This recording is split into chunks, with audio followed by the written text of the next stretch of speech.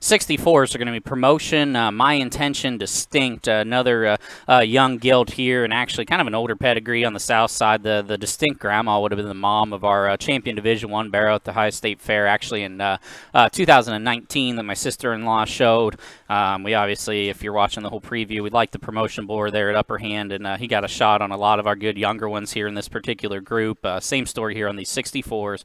promotion, my intention, distinct.